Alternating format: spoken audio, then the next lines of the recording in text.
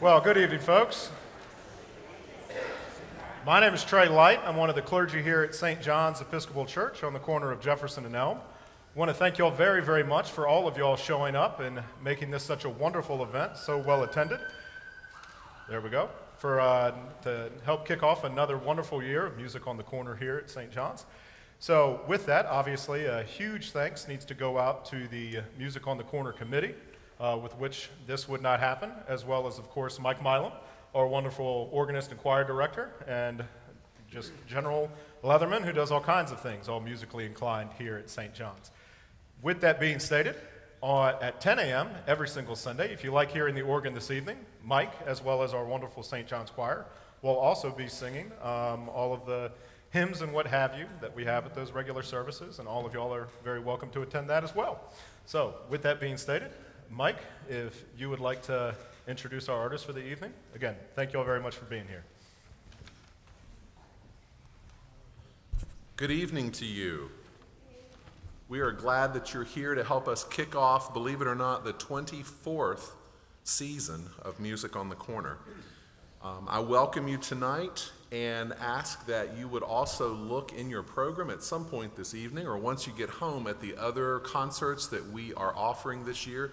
We are particularly thrilled with um, the menu we've put together for you this year, including uh, everything from tonight's silent movie night to uh, Handel's four coronation anthems. It certainly seemed like an appropriate year to bring that work back out. Um, in November, a collaboration with Opera Roanoke in January uh, to present Amahl and the Night Visitors, uh, and an evening of Broadway by Roanoke Children's Theater in May. Uh, just a couple of quick housekeeping items as we begin. For everyone's enjoyment, we would ask that you please silence all devices for the duration of the performance. Also, if you need restroom facilities this evening, there are two options straight back through the narthex adjacent to the elevator or to the top of the steps and all the way down the hall to the left. Um, it is our great honor and joy to have with us this evening Dorothy Papadakos, who is considered one of the great organ improvisers of our time. Dorothy served as organist at the Cathedral of St. John the Divine in New York City from 1990 until 2003 and she is renowned for her sold out rave review silent film screenings featuring her own improvised soundtracks. If you haven't already done so, I hope you'll take a few moments to read more about Dorothy in your program. As you might imagine, Music on the Corner carries with it significant operating expenses, and our programs are funded solely by our patrons. Your contributions will help to support us now and into the future to give you an opportunity to contribute our ushers will come forward during Dorothy's opening remarks, and please know in advance how much we appreciate your generous support. Again, thank you for joining us. It is my absolute pleasure to introduce to you Dorothy Papadakos.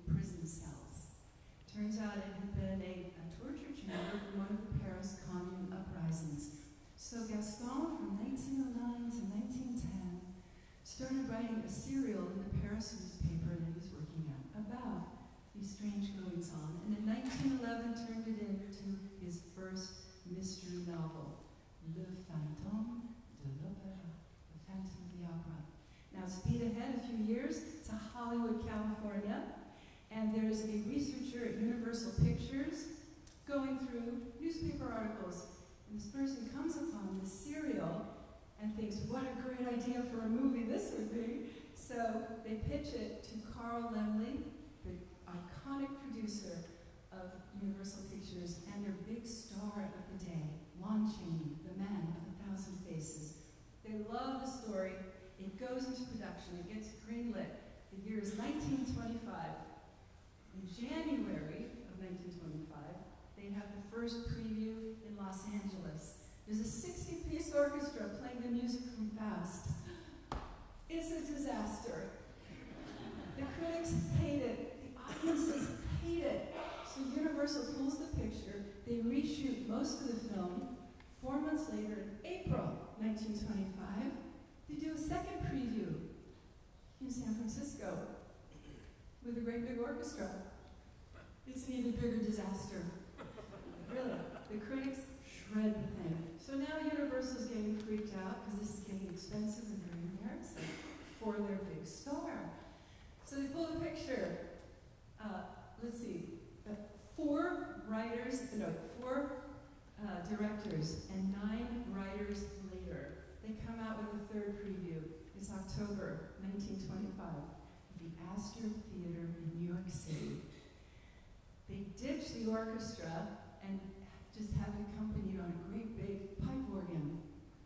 It's a massive hit. they make $2 million at the box office. I know it's because they had an organ accompaniment. Universal's happy, audiences are happy, the critics love it, but somebody is not happy, and that is the star, Lon Chaney. This movie was, this is the 1925 version, was two hours long, and trust me, I played it twice by accident. It got put, the wrong movie got put into the projector. It just goes on and on forever. So in 1929, Lon Chaney supervised the edit of what we're going to see tonight, the 1929 version. And there's so many amazing elements, because by now, color has been born in film, which I'll tell you about in a minute. So Lon Chaney has a fascinating history. Both of his parents were deaf and mute. So from birth, he had to learn how to communicate with gesture, face, language of the eyes. There was no sound. And watch him tonight as he acts. He is extraordinary. And I know this is because of how he grew up to communicate with his mom and dad. He also applies his own makeup in fact, he was so well known as a makeup artist extraordinary that Encyclopedia Britannica had him write the makeup entry in the encyclopedia all throughout the 20s. And he carried his makeup in a little bag, like a doctor bag. And if you worked on any of the sets of Lon Chaney's movies, he had just done Hunchback of Notre Dame before this, and now Phantom, and you spoke out of school, revealed any of the secrets. You get fired off the set. This was as big as like leaking a J.K. Rowling uh, script before the, the books get produced. Revealing Lon Chaney's makeup secrets was a big deal. Um, so, the transfer brought, the film we're watching tonight is a transfer. It's a Blu-ray restoration from the original 35 millimeter. It has 17 minutes of original old school Technicolor and um, it's in the masked ball scene. You'll see the Phantom arrive in red, vivid red, and all the amazing, glorious costumes of the other characters. And then the rest of the film is tinted. And tinting is really interesting. They used this to convey to the audience mood and time of day or night. And this is how the colors were used. Amber was for interiors, blue for night scenes, red for fire, and yellow for daytime like sunshine, like daylight exteriors. And uh, just to give you an idea about the tinting, think about this. I did the math. The, the movie runs at 24 frames per second. The film's 96 minutes. It flies, it really flies. So that's 5,760 seconds. You multiply that by 24 frames per second. So think about this. This movie is 138,240 frames. Now, imagine the army of artists hand pixelating every single frame.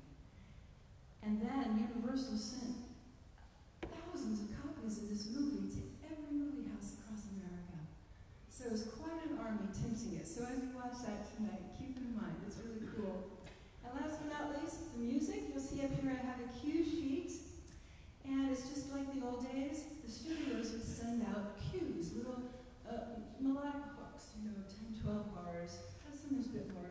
Um, and then the pianist or organist would improvise, and you had chase music, love music, the main character, uh, ballet music. So you'll hear most of the themes in the first 10 minutes, and then I improvise the rest of the score based off those.